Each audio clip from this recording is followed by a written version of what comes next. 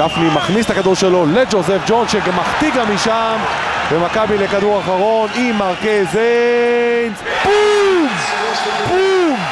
נוקאוט! זה כדור נוקאוט!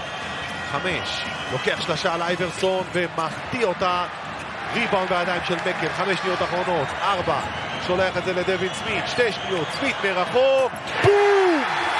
איזו שלשה, מכבי תל אביב מתפוצצת בפנים של הפועל ירושלים.